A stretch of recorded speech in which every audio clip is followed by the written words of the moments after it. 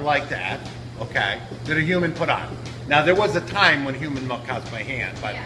but except for some Amish farmers, that basically has doesn't occur.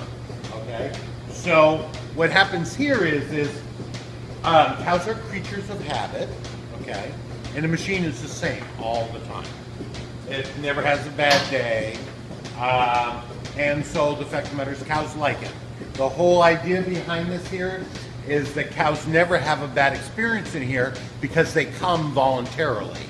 So 24 hours a day, they're coming to this machine to get milked, one at a time.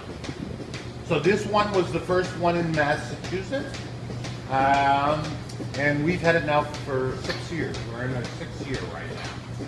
Takes them off, okay, because the milk kind of acts like a lubricant coming, and each one is separate, so it takes each one off separately.